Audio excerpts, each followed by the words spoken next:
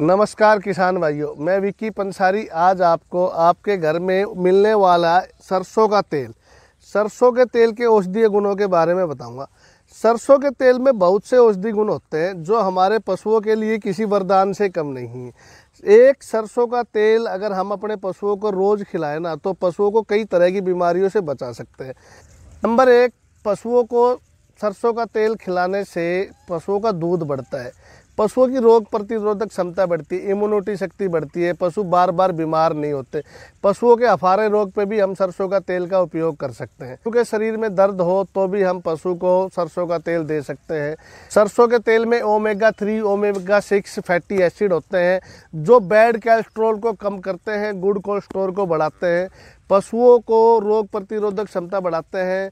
इसको हम हर मौसम में खिला सकते हैं, गर्मी में भी, सर्दी में भी, लेकिन एक विशेष बात आपको याद रखनी है, पशुओं को चौमासे में मतलब कि बारिश के मौसम में जब बारिश पड़े ना सावन में, उस समय सरसों का तेल नहीं खिलाना चाहिए, क्योंकि सरसों का तेल और हरा चारा, हरे चारे का और सरसों का तेल का कोई मेल नहीं है। अगर हम ये दोनों साथ खिलाएँगे तो हंड्रेड परसेंट हमारे पशु बीमार हो जाएँगे।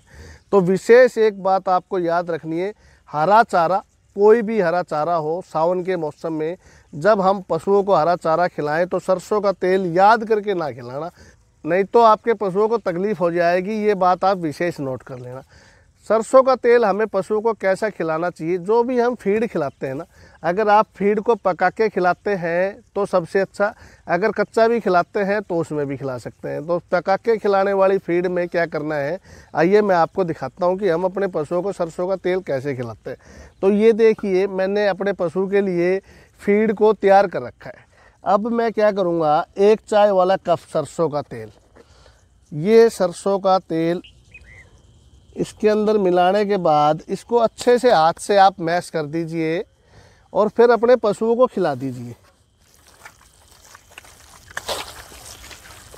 ऐसे पशु को मिला के खिला दीजिए। पशु बड़े चाव से खाते हैं। पशु को खाने में बड़ा मज़ा आता है। लेकिन इसमें एक बात आपको विशेष याद रखनी है। सरसों का तेल कौन सा होना चाहिए? सरसों का तेल तो पूरे देश में एक ही होता है, लेकिन उसमें एक बहुत बड़ा फ़र्क है। सरसों का तेल कच्ची गाड़ी का लेना है हमें। और हो सके तो आपके आसपास कोई कोल्लू हो ना, वहाँ जाके सरसों का तेल लेके आओ। जो सरसों का तेल रिफाइंड किया हुआ होता है ना, ट्रिपल रिफाइंड, डबल रिफाइंड हम बोल देते हैं, ये सरसों का तेल हमारे पशुओं को कोई काम नहीं करने पाता।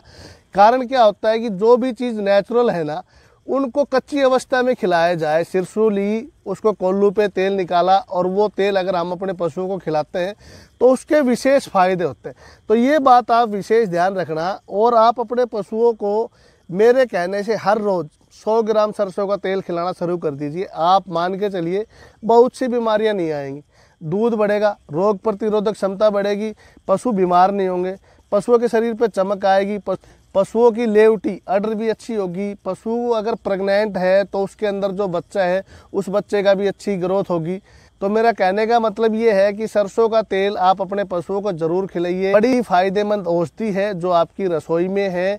इसका किसी भी प्रकार का कोई साइड इफ़ेक्ट एक बात याद रखनी है आपको, हरा चारा और सरसों का तेल, दोनों एक साथ कभी ना खिलाएँ। विशेष ध्यान रखना है। अब मैंने इस चाट के अंदर सरसों का तेल मिला रखा है। अब हम पशु को उसकी बाट में मिला देंगे।